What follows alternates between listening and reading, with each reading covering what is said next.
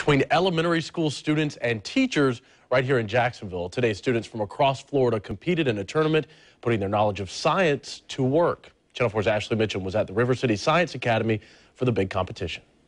When I grew up, I want to be an astrophysicist and a chemist. Olivia Brown is just one of many kids across the state of Florida who faced off at the First Coast Science Olympiad tournament.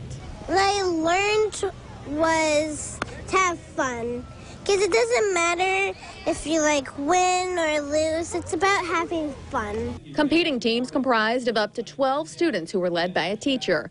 The kids competed in 13 different events categorized by physics, chemistry, earth space science, biology, and engineering. Students engaged in hands-on interactive inquiry-based activities. The principal of the host school, River City Science Academy, says it wouldn't have been a success without the parents. They spend that extra time, and we have very wonderful parents. I know what one of them are uh, in here. Uh, they are making sure that they have uh, they have emotional support, uh, and also they give monitor support. River City Science Academy is a tuition-free science, technology, engineering, and math-focused Duval County public charter school.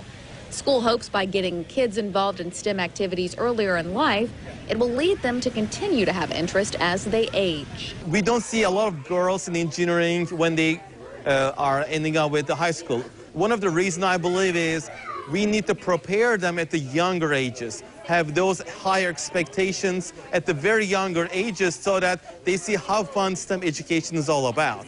If you have interest in getting your child involved with STEM schools like RCSA, go to news4jax.com. Ashley Mitchem, Channel 4, the local station.